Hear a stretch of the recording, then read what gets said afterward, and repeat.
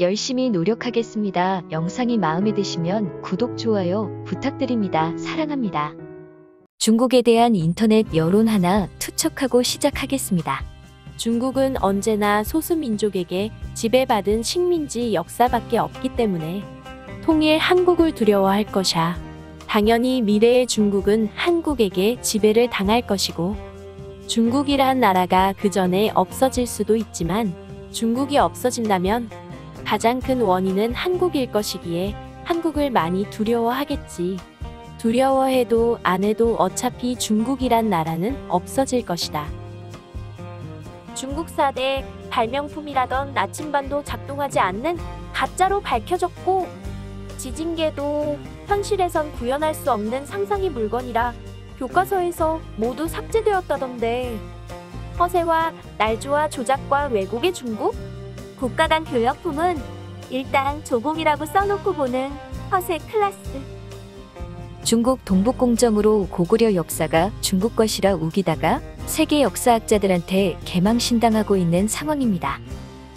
한국의 김치, 삼계탕, 한복 등 중요 한국 문화를 훔쳐가려고 발악하는 중국이 갑자기 한국의 자세를 낮추고 구걸하기 시작했습니다. 구걸하는 자세도 오만방자하던 모습은 온데간데없고 언제 그랬냐듯이 영원한 친구라고 극진한 대우를 하고 있습니다. 무슨 일이 일어난 것일까요? 자세한 소식 알아보겠습니다. 현재 중국은 미국의 무역 제재를 통해 엄청난 고통에 직면해 있습니다. 트럼프가 중국이 미국에 맞서는 꼴 절대 볼 수 없다 하여 중국에서 잘 나가는 기업 여러 개 박살 내놨습니다. 화웨이, 샤오미, 기타 등등 중국 핵심 기업들이 줄줄이 부도가 날 지경입니다. 이런 상황에 리커창 총리는 10년 동안 단 하나의 칼을 가는 심정으로 매진할 것이라고 주장한 가운데 중국 반도체 굴기에 선봉장 청화 유니그룹이 부도난 상황이 되었습니다. 또한 반도체 굴기를 위해 쏟아부었던 수백조 돈은 휴지가 되었습니다. 늘 짝퉁만 만들던 실력으로 미국을 따라잡겠다가 나섰다가 부도가 난 것입니다.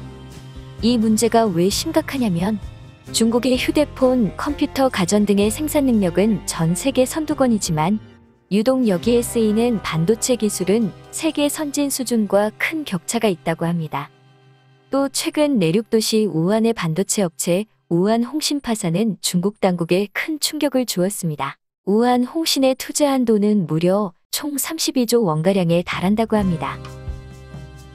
이런 와중에 이번 4월 3일 정의용 외교부 장관과 왕의 중국 국무위원 겸 외교부장이 한중 외교장관 회담을 결과를 발표했습니다. 발표 중요 내용을 보면 거만하고 오만하던 중국이 꼬리를 완전히 내린 이유를 알 것 같았습니다.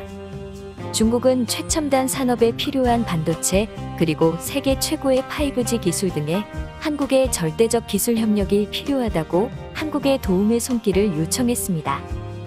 현재 중국은 미국의 전방위 압박에 중국 핵심 기업들이 사활이 걸려 있는 상황입니다.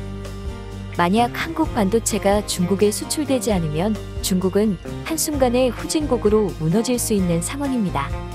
특히 미국은 이번 바이든 대통령 회담에 이례적으로 삼성전자 핵심 간부의 참여를 공식적으로 발표했습니다. 지금 미국의 전 세계에서 중국 추방 전략이 곳곳에서 효과를 발휘하고 있어 흐뭇한 기분이 듭니다. 삼성전자, SK 하이닉스 한국의 대표 반도체 기업이 사실상 중국의 생명줄을 쥐고 있다고 봐도 과언이 아니라고 생각합니다. 더 빨리 초격차로 중국이 따라오는 것이 불가능하게 만들어 버려야 할 것입니다. 또한 사이버 기술 도적질, 인력 빼가기에도 충분히 대비해야 할 것입니다.